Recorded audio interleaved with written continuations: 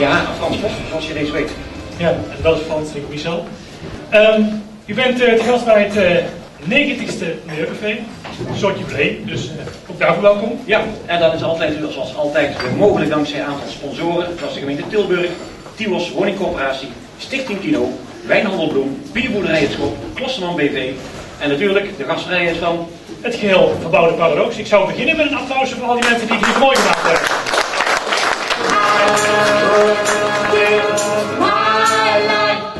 landschap, dat bestaat 80 jaar. En dat zetten ze kracht bij met de publicatie van een prachtig boekwerk, 3,5 kilo. Dat druk je niet meer uit de pagina's, maar in gewicht. Het is een uniek boek. Geen enkele provincie heeft dat. Wauw!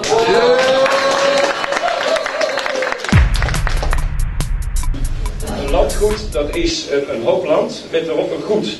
En een goed is meestal een, uh, een boerderij waaruit op een gegeven moment een landhuis groeide. Dat is het een was eigenlijk een economische investering van mensen die rijk waren vanaf de 16e, 17e, 18e, 19e eeuw. En die zochten een zinvolle bestemming daarvoor. En dan kochten ze een lap grond en dan gingen ze ontginnen. En dan stichten ze de boerderij, of ze namen de boerderij over die er al stond. En dan zetten ze een pacht erop. En eens in de zoveel tijd gingen ze kijken. En dan hadden ze een eigen herenkamer. En uit die herenkamer groeide een landhuis. Uh, Den Bosch, ja, daar staat veel oud geld. Tilburg, wat verderop oud geld, want niet bij de stad. Eindhoven, het zijn allemaal sloepers geweest, dat kunt u wel zien, dat is bijna niks. Breda, is ook allemaal geld, hè? Uh, Bergen op Zoom, die hoek, allemaal geld. Ja, en hier de peel, armoede, hè? Os.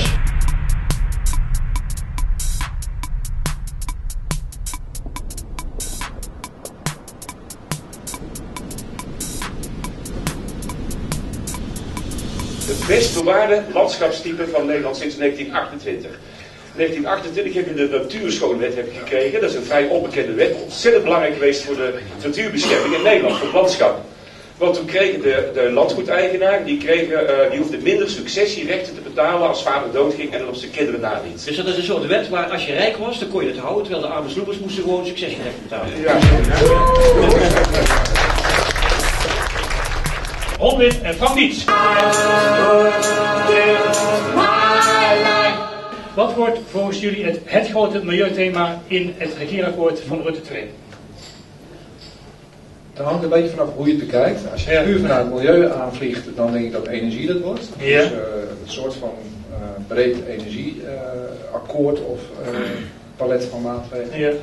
Als je het aanvliegt vanuit waar het meeste gedoe over gaat ontstaan, Ja. dan is het de mobiliteit. Dus, dus de fiscale vergroening in de mobiliteit. Wat wordt, uh, wat wordt volgens jou het milieuthema bij, um, bij uh, Rutte 2? Ervan uitgaande dat het kabinet er komt. Vanuit het perspectief van zo'n setting zou ik zeggen vergroening.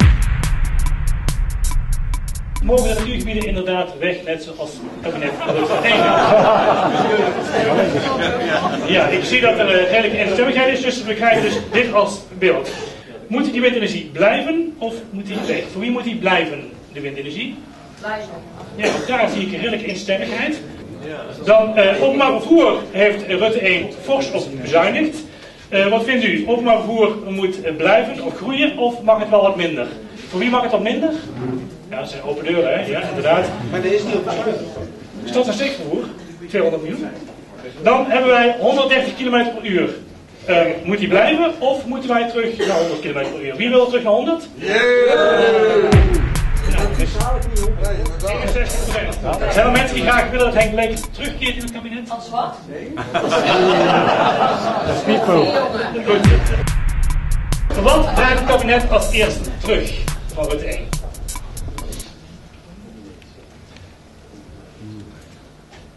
Dat is een hele lastige vraag.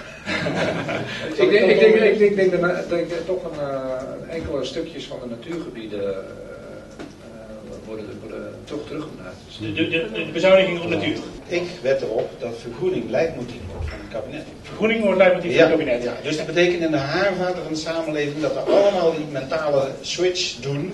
Het moet zuiniger met milieu en natuurgebruik. Eén ding weet ik 100% zeker, is dat Rutte 1, of Rutte 2 bedoel ik, Ja. die gaat vet uitbreiden met windmolens op land. Want? Dat staat namelijk in het VVD-programma, dat ze, dat ze er 2000 megawatt bij willen hebben ten opzichte van wat er al extra bij komt.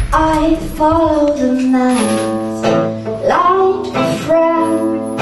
I cherish the chains that bind our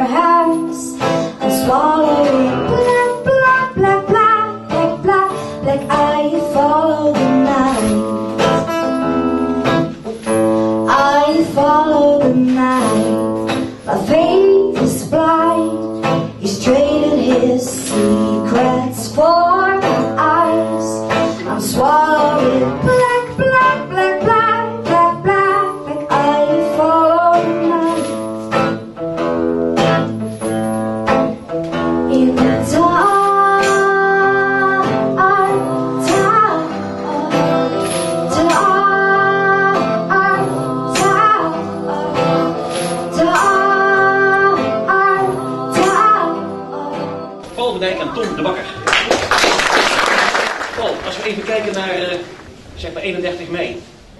Wat is er gebeurd? Wat is er dan allemaal bijgekomen?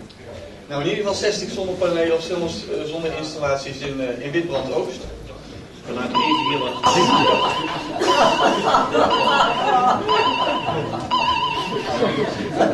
60 eh, eh, installaties in Witbrand Oost. Eh, heel veel actieve mensen eh, in de stad, op steeds meer plekken. Waarbij je ziet dat, eh, ik, en ik gebruik allemaal de slogan, eh, betaalbare, duurzame en eigen energie. Bij sommigen op individuele basis. Maar eigenlijk ook op steeds meer plekken dat je dat in coöperatief verband gaat zien. En dan staan er de twee woordjes achter voor iedereen. Wat gaan jullie doen en wat is die website?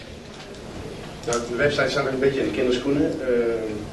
Daar in ieder geval eh, eh, duidelijk gemaakt eh, middels een schrijven wat onze doelstelling is. Wat is die?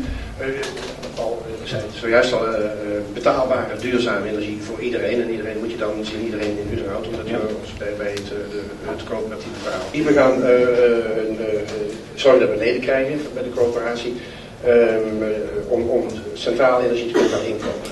Via de Verenigde Energiecoöperaties kunnen we eh, een prijs eh, gaan maken die eh, kan eh, concurreren tegen ja, zeg maar de, de gangbare eh, energiemaatschappijen. En er is ook gezegd van, er gaat een deel van de winst gaat de coöperatie in. En met de winst die de coöperatie ingaat, wordt nu een installatie op een sportpark neergelegd.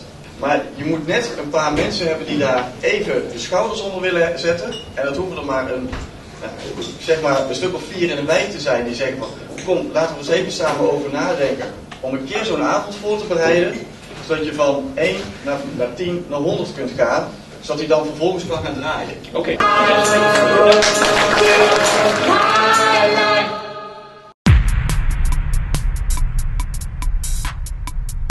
Deze auto is uit 1900 en die is ontworpen en gemaakt verleden door Ferdinand Porsche. Het is de eerste hybride auto ter wereld met, met een elektrische motor en een verbrandingsmotor.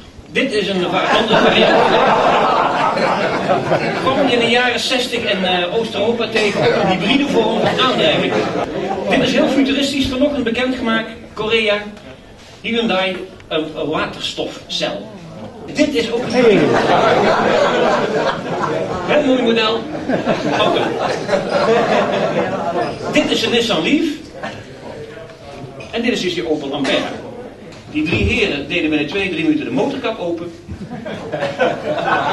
En Petra deed de achterklep open. Is het een echte serieuze auto? Arjuna? Ja. Jos? Ja. Petra? Ja. Geert?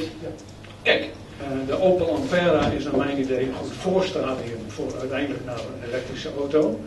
Eh, men heeft daar dus op een gegeven moment eh, ja, een eh, verbrandingsmotor ingezet eh, om als generator te dienen voor de elektrische aandrijving. Zo, ik ben niet technisch, maar hij rijdt als een tierenlier, echt waar.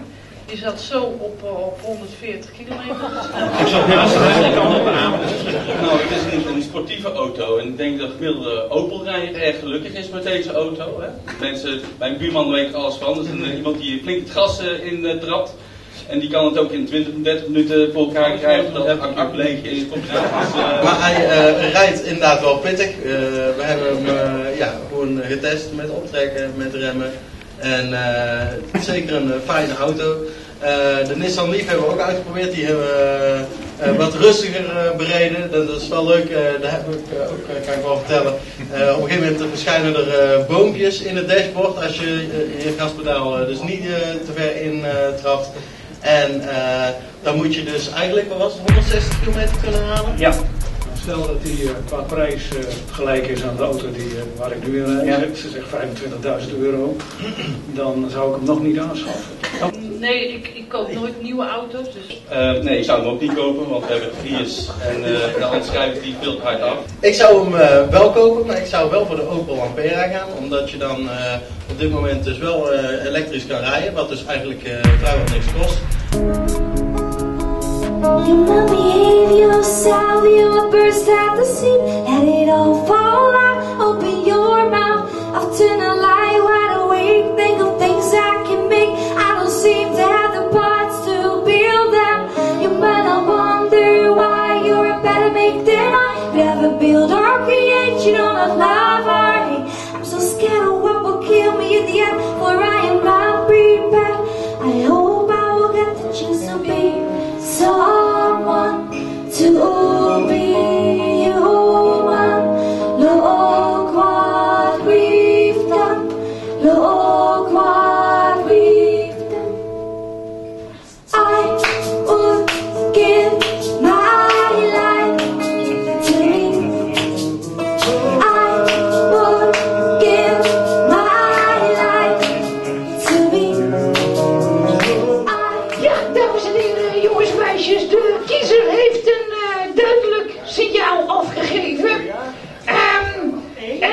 ik zou eh, u een paar dingetjes eh, voor willen leggen eh, over de Europese richtlijnen.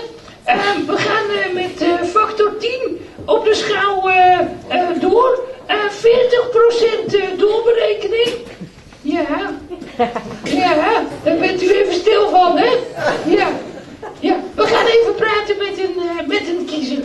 En hier is die, dames en heren. Geef hem een hartelijk applaus. Hier is Deentje.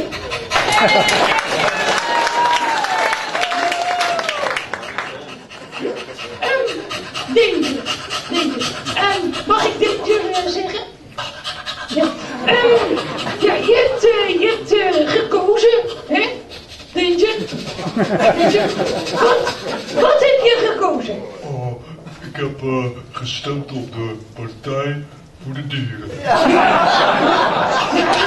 dat, dat dacht ik al, ja. Het volgende puntje dat ik eh, met jullie wil behandelen is eh, de landgoederen. Zoals jullie weten is dat een stuk land met een, met een goed erop. En iemand die daar echt van alles vanaf weet is Arend Jan Winterwel van Stoetwegen.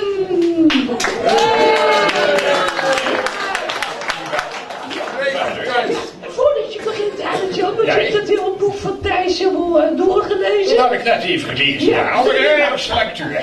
Ja, 2,5 kilo eh, Ja, ja, aan de ja. haak. Zeker. Ja, ja. Ik wil eerst even zeggen, Arend Jan, Ja, je bent de shit. Ach zo. Ja. Ja. Nou, dat boek val ik ergens. Ja, sta je er zelf eh, ook in, Arend Jan? Helaas. Helaas. Op een of andere manier is meer voor een veilig landgoed ermee geschoten. Ja. Heel spijtig. En daarom leek het mij een leuk idee, misschien wel erg, als ik zelf een kleine toelichting geef over het landgoed Meneveurvaart. Oh ja, ja, ja. Nou, het zal zijn geweest rond 1885 dat mijn voorvader, de graaf van Bons, komt tot Dutsbergen. Ja. Zijn huizen wel tevreden, geheel liet restaureren door de firma van de Zaande BV.